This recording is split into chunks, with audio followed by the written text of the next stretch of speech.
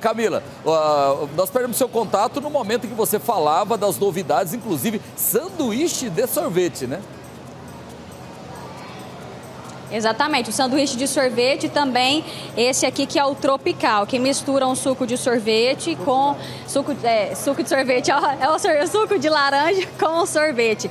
E aí, Loras, a gente estava escutando você falando sobre esses pratos típicos de sorveteria de antigamente, banana split, sundae, e aí eu perguntei aqui pro Dolor Júnior se existe ainda. Existe, né? Ô, Loras, tudo bem? Pois é, Loras, é, eu fiquei sabendo que você tomava banana split antigamente, né? E não sabia se encontrava em Goiânia. Quer dizer que nós temos aqui já 58 anos, inclusive nós vamos mandar uma para você. É, qual sabor? Escolhe aí. Escolhe aí o sabor que você gosta, Loares, que a gente vai mandar. Espero que chegue inteira. Vou colocar, vamos colocar aqui num lugar para preservar aí, né, a consistência até chegar para você. Qual que é o sabor que você quer que a gente já vai agilizando aqui? Nossa, eu.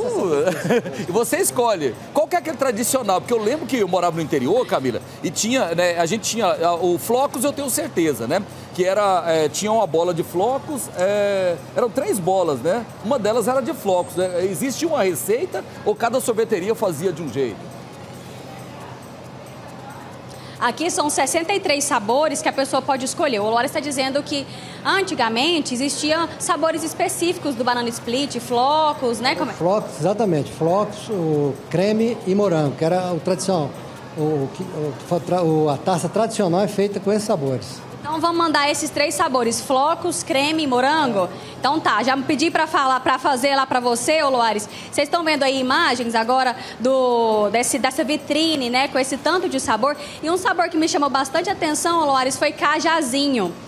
É um dos sabores aqui que é novidade também. Eu experimentei junto com açaí e ficou maravilhoso. Cajazinho é um fruto típico do Cerrado também, né? Cajazinho ou taperebá, que tem um pessoal aí do norte que conhece como taperebá ou siriguela. E tem saído muito? Sai muito. Sabor de fruta nessa época de calor vende bem. Tá bom, obrigada, viu? Deixa eu perguntar a essa moça aqui que estava experimentando sorvete.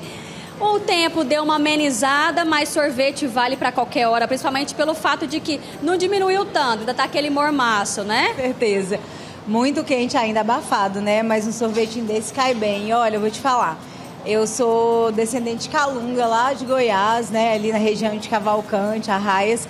E assim, vim aqui na Beijo Frio me remeteu lá à adolescência, 11, 12 anos aqui que eu estudava no auxiliador e era o sorvete mais gostoso de Goiânia. E ó, vale a pena, continua, viu?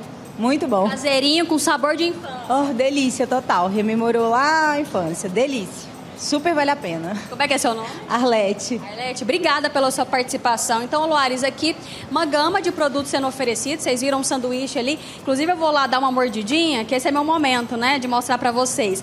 Esse aqui que é o tropical, vocês podem pedir. Banana split, tem sundae. Aqui você monta tudo do jeito que você quiser. Aqui também são vários sabores desse aqui que é o sanduíche, que é aquela casquinha, aquela casquinha tradicional que a gente já conhece. E dois sabores de sorvete. E eu vou terminando por aqui. E aí, Ô, Loares, já vou levar o seu também. E o meu, claro, né? Ó, um beijo para vocês, sextamos. Eu quero que você me explique como é que é o sabor de um... De, é, é o wafer, né? Isso aí?